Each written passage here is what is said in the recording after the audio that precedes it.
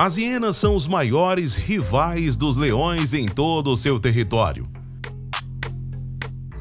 Onde os leões estiverem, as hienas vão atrás deles.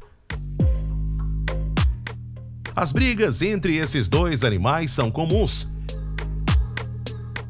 E cada um pode acabar com a vida do outro sempre que há possibilidade. Assim como nos casos a seguir.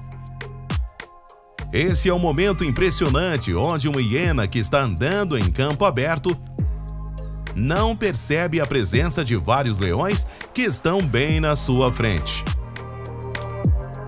Os leões ficaram agachados e quando a hiena chegou perto deles, eles atacaram. A hiena saiu correndo desesperada com vários leões na sua cola. Mas, por incrível que pareça, a hiena ainda conseguiu escapar sem ser morta.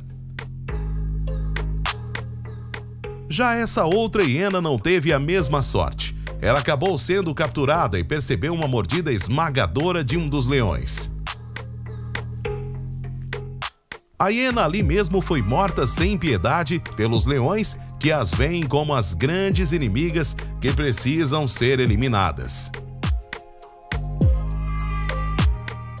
Já nesse outro encontro, uma briga envolvendo dezenas de hienas e vários leões começou enquanto ele estava disputando uma carcaça.